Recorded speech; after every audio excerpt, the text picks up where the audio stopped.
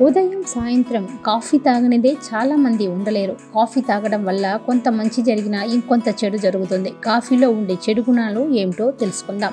Caffeine రక్తనాళాలను కుదించడం వల్ల రక్తపోటు పెరిగే అవకాశం ఉంటుంది. ఫలితంగా అధిక రక్తపోటు కారణంగా అనేక గుండె జబ్బులు గుండెపోటు రక్తనాళాలు మూసుకుపోవడం వంటి సమస్యలు తలెత్తే అవకాశం ఉంది. కెఫిన్ శరీరంలోని చలన కదలికలు నియంత్రించడం వలన చేతులు వణకడం అనే సమస్య తలెత్తవచ్చు. కెఫిన్ అధిక మోతాదులో తీసుకోవడం వల్ల అతిమూత్ర సమస్య తప్పదు.